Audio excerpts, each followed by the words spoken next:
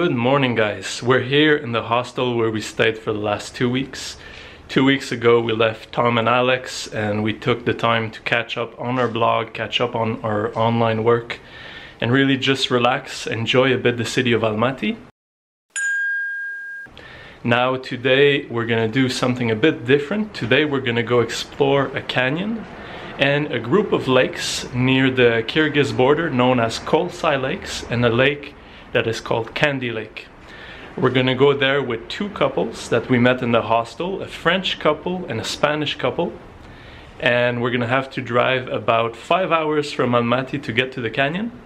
We're probably gonna sleep there tonight, that's the plan. And tomorrow, we're gonna head over to the lakes. This is the Spanish couple, Sergio and Cristina and they're gonna be visiting the canyon with us. This is their car. Sergio and Cristina took two years to travel the world in their car. They transformed their whole car into a livable space with a bed, a kitchen. Hopefully one day we travel the same way. So we're riding with our friends from Paris, Max and Sibyl. And so far, what do you guys think about Kazakhstan? People are very, very welcoming. More than in any other country we have visited. We drove the whole afternoon while chatting away and enjoying the mountainous landscapes. We arrived at the canyon just before the night fell. We had to pay a small fee to enter the canyon and then we were ready to enjoy the beauty of the setting sun. So we just arrived in Charyn Canyon. The mountains are like pink, reddish,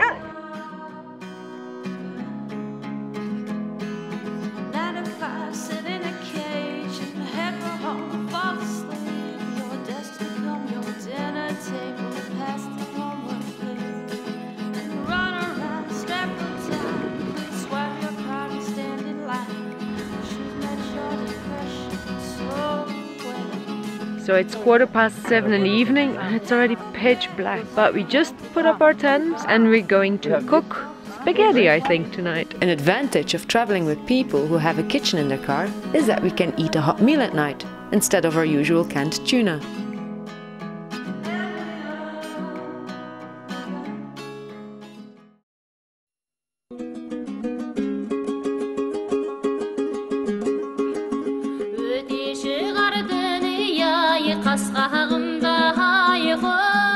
Good morning, guys. I just got up and the canyon is, wow, gorgeous in the sunrise. The canyon is right here behind us. Cynthia's still sleeping. The French couple is still sleeping. I'm here with Sergio at the moment. We're catching a couple of shots while the, the light is still good. Sunrise, early morning light is the best. That's kind of light you get in the morning. Look at that, guys. For millions of years, wind and water sculpted Charyn's red sandstone to form the fantastic shapes and shadows that we can see today. This part of the canyon is called the Valley of Castles.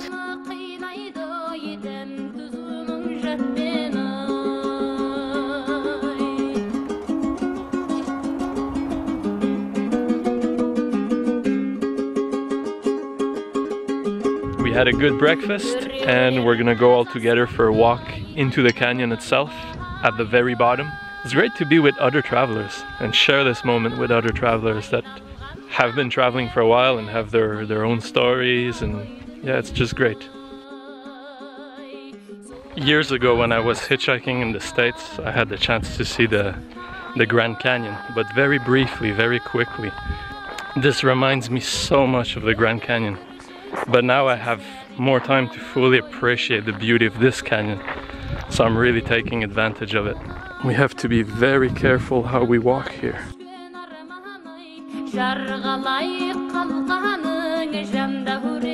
So that's it guys, we're in the canyon now, we're at the bottom of it. It's an indescribable feeling to walk through a millennia old creation of nature. It makes us feel so small and insignificant as human beings, realizing that we're just a tiny part of an endless universe.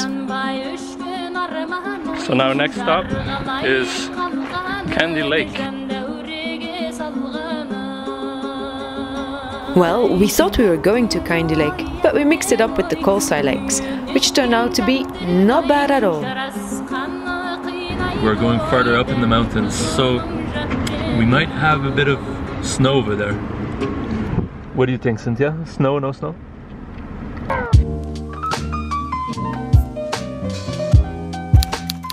So we just arrived at the first of the two lakes.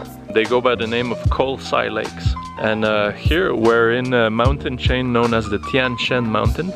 So we've been told that the, the other lake, the second lake is 8 kilometers from here, so it's getting a bit late. We're probably gonna cook here, camp here tonight, around the first lake, and tomorrow morning very early, uh, do an 8 kilometer walk, see the second lake, and then an 8 kilometer walk back. Uh, it's so beautiful. It kind of reminds me of Canada, even though I haven't been there. This is a landscape I definitely did not expect in Kazakhstan.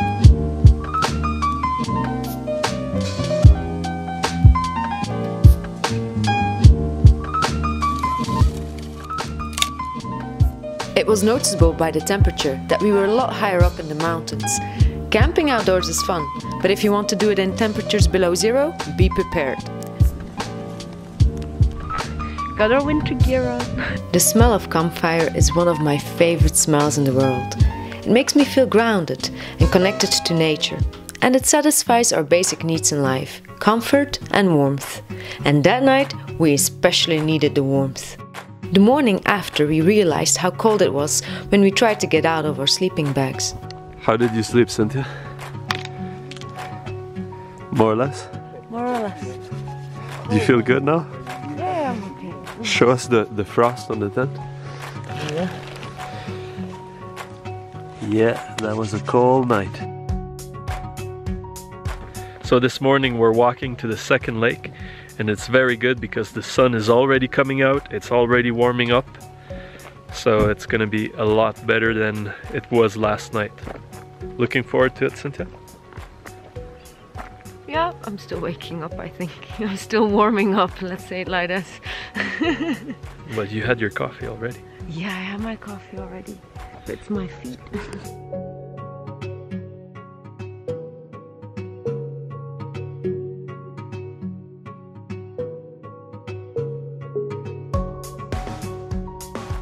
This lake reminds me of the lakes that we have in Banff in Canada because it has the same color, it's the same tint of like turquoise and green. The walk led us around the first lake, along alpine meadows, and into the forest where we even saw some snow. The second lake is at an altitude of 2250 meters, so we had to do a lot of steep climbing. But in the end, when we reached the second Khol lake, it was so worth it.